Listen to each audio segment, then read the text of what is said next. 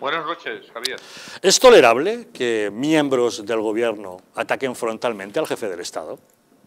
Bueno, esto es algo yo creo que no, se ha visto eh, ni se había visto en ninguna parte del mundo, ¿no? En ningún país, desde luego en ningún país civilizado, ¿no?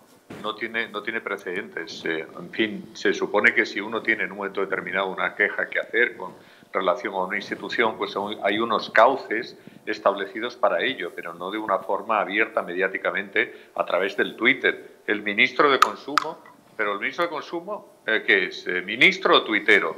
¿Por qué le pagan? ¿Por escribir en Twitter o por hacer su trabajo que no sabemos qué trabajo ha hecho?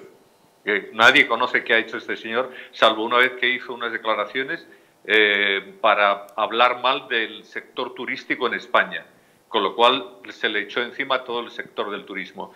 Bueno, este señor está ahí cobrando un sueldo tan tranquilamente eh, todos los meses desde hace ya bastante tiempo, no hace absolutamente nada, se dedica a escribir eh, tweets contra el jefe del Estado y, y, el presidente del gobierno, pues parece como que si lo aplaudiera, ¿no? Es absolutamente insólito, amén de gravísimo, es un tema gravísimo. Es que fíjate la barbaridad, José Antonio. Resulta que Alberto Garzón acusa al rey de conspirar contra el gobierno y Pablo Iglesias le acusa de falta de neutralidad. A don Felipe nada menos. Sí, sí, y todo además por una cuestión, por una cuestión tan simple, tan sencilla, que yo creo que se ha explicado muy bien, que es que, vamos a ver, el rey lleva 20 años, el rey de emérito y después el rey de España, el actual, pues llevan 20 años asistiendo a este acto eh, en la Escuela Judicial de, Barcelona.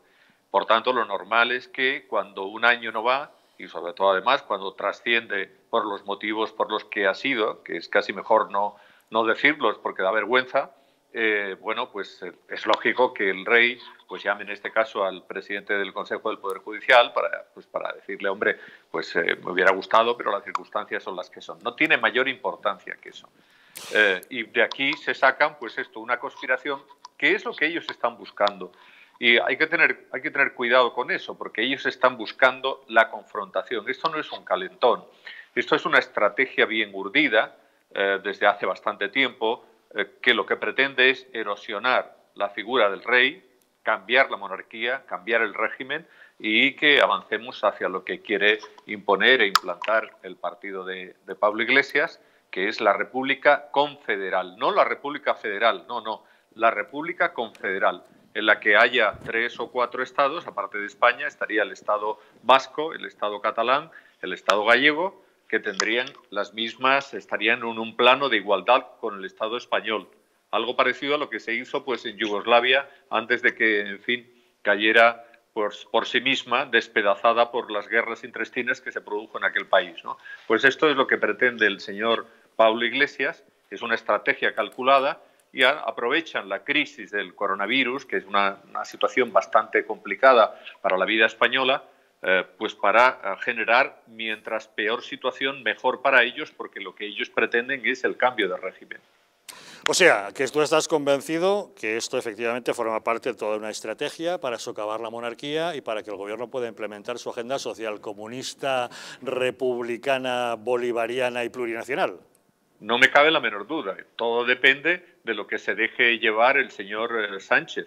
Eh, yo mm, pienso que en principio esta no es el, planteamiento de Sánchez, este es el planteamiento de Podemos. Ellos lo que quieren es fuera la monarquía, una república y que sea una república confederal. Además, esto lo ha dicho en innumerables ocasiones eh, Pablo Iglesias. Lo que pasa es que hay gente que no lo quiere ver y no lo quiere oír. Y cuando se le dice, bueno, bueno, pues en fin, como que, que ya será menos. Bueno, será menos, pero, pero haciendo más, porque ellos siempre van avanzando en ese camino.